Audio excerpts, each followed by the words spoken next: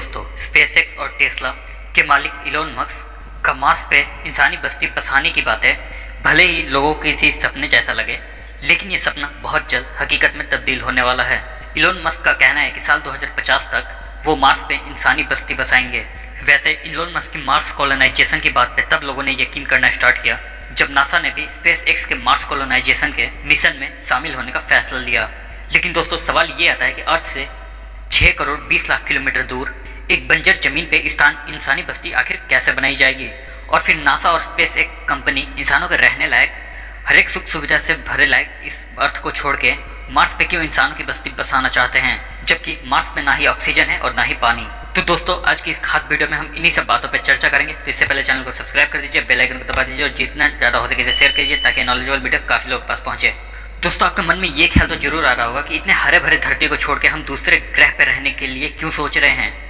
दोस्तों, बात कुछ यूँ है कि वैज्ञानिकों के मुताबिक जब से हमने पेट्रोल, डीजल का इस्तेमाल शुरू किया है, तभी से धरती का तापमान बढ़ता चला जा रहा है। और भविष्य में एक समय ऐसा भी आएगा कि धरती का तापमान इतना ज़्यादा बढ़ जाएगा कि यहाँ किसी भी जानदार चीज़ का रहना नामुमकिन हो जाएगा। एक रिपोर्ट के मुताबिक ये बात सामने आई है कि हर 10 सालों में धरती का तापमान 0.16 परसेंट बढ़ता ही जा रहा है। अगर ये सब यूँ ही चलता रहा तो एक समय ऐसा भी आएगा कि अर्थ के जिन गर्म इलाकों में इंसान रह रहे हैं वहाँ पे उनका रह पाना नामुमकिन हो जाएगा। सिर्फ़ इतना ही नहीं, तापमान के बढ़ने से आर्कटिक रीजन के जितने भी पर्व है, सारे पिघल रहे हैं, जिनके कारण स्वरूप धरती पे आए दिन बाढ़, सुनामी और तूफ़ान का खतरा बढ़ता ही जा रहा है। इन्फ्लुएंस के इस्तेमाल से हो रहे पॉल्यूशन की वजह से ओजोन लेयर में भी छेद हो चुकी है। इस कारण सूरज से निकलने वाली खतरनाक अल्ट्रा वायलेट रेड धरती के वातावरण में प्रवेश कर रहे हैं, जो इंसानों के लिए जानलेवा है। वैज्ञानिकों के मुताबिक बढ़ती पॉल्यूशन और दूसरी तरफ़ सूरज की खतरनाक रेडिएशन कुल मिला के आने वाले समय तक हमारी धरती रहने के लायक नहीं बचेगी। और इसी चीज़ को मद्देनजर रखते हुए हम इंसान दूसरे घर की तलाश कर रहे हैं। लेकिन दोस्तों, यहाँ पे ये सवाल उठता है कि आखिर मार्स से क्यों? कोई और ग्रह क्यों नहीं?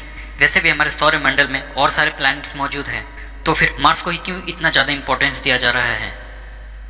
वैसे हम देखें तो सौर मंडल में पृथ्वी के दो पड़ोसी ग्रह हैं। एक है वीनस और दूसरा है मार्स। जो कि वीनस सूरज से काफ़ी करीब है, इसलिए वीनस का तापमान बहुत ज़्यादा है और वहाँ पे ज़िंदा रह पाना नामुमकिन है। दूसरी तरफ़ मार्स पे तो गर्मी नहीं है, लेकिन यहाँ पे ठंड आर्कटिक क्षेत्र से भी ज़्यादा है, जो कि माइनस सौ डिग्री सेल्सियस से भी ज़्यादा है। ऐसा नहीं है कि सिर्फ़ जमा देने वाली ठंड ही हम इंसानों के लिए मुसीबत बन सकती है, बल्कि मार्स पे ना ही पानी है और ना ही ऑक्सीजन। इसका मतलब ये कि हम इंसानों के ज़िंदा रहने के लिए मार्स पे प्राइमरी चीज़ें ही मौजूद नहीं है। बावजूद इनके नासा और इलोन मस्क के पास ऐसा क्या प्लान है जिनकी वजह से वो मार्स पे ज़िंदगी बसाएँगे? और वहाँ पे इंसानों को ज़िंदा रख पाने में सक्षम होंगे।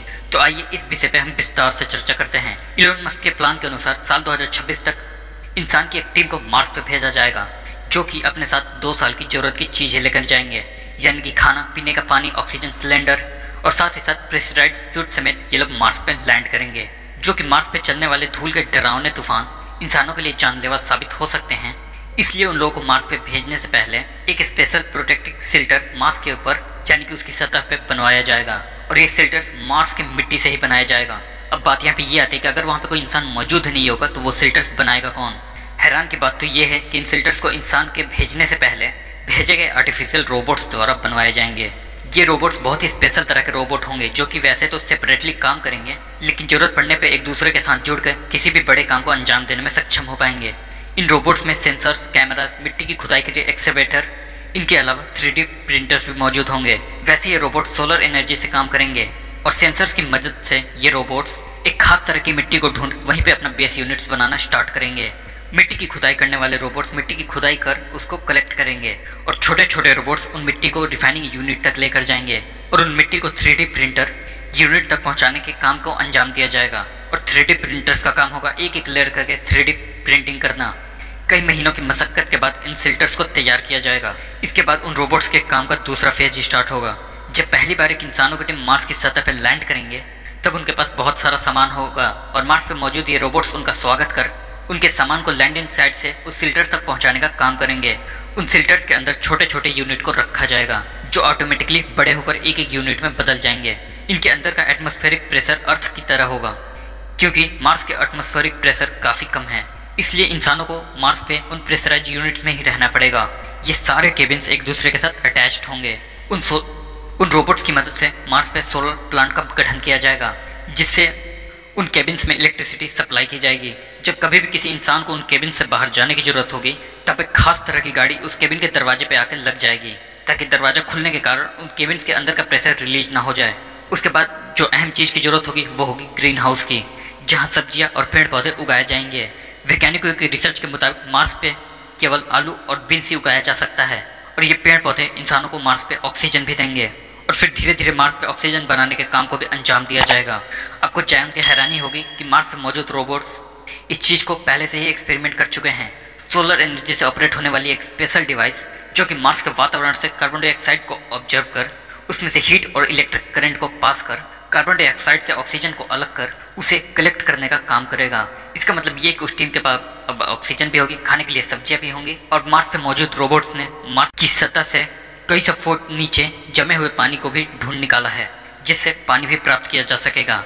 यानी कि इंसान मार्स पे बिना किसी चिंता के सर्वाइव कर सकेंगे। लेकिन वैज्ञानिकों के पास एक सवाल का जवाब अभी भी मौजूद नहीं है कि आखिर मार्स पे इंसान क्या सारी उम्र ऐसे ही प्रोटेक्टिव शेल्टर्स में प्रेशराइज्ड केबिन के अंदर ही रहकर अपने जीवन गुजारेंगे। लेकिन दोस्तों, वैज्ञानिकों ने यह भी बताया है कि अगर कैसे भी करके मार्स के तापमान को बढ़ाया जा सके तो हो सकता है कि भविष्य में 100 या 200 सालों बाद मार्स भी धरती जैसे जीवन के अनुकूल हो जाए। तो मार्स पे भी जीवन पनप सकता है। इलन मस्क ने मार्स की तापमान को बढ़ाने के लिए एक बहुत ही अद्भुत आइडिया दिया है, और वो ये कि मार्स पे न्यूक्लियर बॉम्ब का विस्फोट किया जाए। उनके मुताबिक, अगर हम मार्स पे दस हज़ार के आसपास न्यूक्लियर बॉम्ब का विस्फोट करते हैं तो वहाँ पे तापमान भी बढ़ने लगेगा। और वहाँ पे मौजूद बर्फ़ भी पिघलने लगेंगे। और जल्द से जल्द मार्स भी इंसानों के रहने लायक बन जाएगा। इलोन मस्क और नासा के प्लान के मुताबिक साल 2026 तक एक इंसानों की टीम को मार्स पे भेजा जाएगा। और हर दो साल के डिस्टेंस में जब अर्थ और मार्स एक दूसरे के ज़्यादा करीब होते हैं तो छोटे छोटे टीम के रूप में लोगों को मार्स पे भेजा जाएगा। और ऐसे करके साल 2050 तक 10 लाख लोगों को मार्स पे बसाने का प्लान बनाया जा रहा है। और साथ ही साथ मार्स के तापमान को बढ़ाने के बारे में भी रिसर्च की जा रही है। और उनके मुताबिक आने वाले दो, सौ या 200 सालों में वो मार्स को भी धरती की तरह ही एक हैबिटेबल प्लानट बनाने में कामयाब होंगे। तो दोस्तों, इसके बारे में आपकी क्या राय है? क्या फ्यूचर में हम लोग मार्स पे जा पाएँगे? तो अपनी राय हमारे कमेंट में ज़रूर बताएँ। और इस वीडियो को अपने तक सीमित ना रखें। इसको जो भी प्लेटफॉर्म आपके पास मौजूद है, वहाँ पे ज़रूर शेयर करें ताकि नॉलेजेबल वीडियो काफ़ी लोगों के पास पहुँचे। तो मिलते हैं अगले इंटरेस्टिंग और नॉलेजेबल वीडियो के साथ। तब तक के लिए जय हिंद।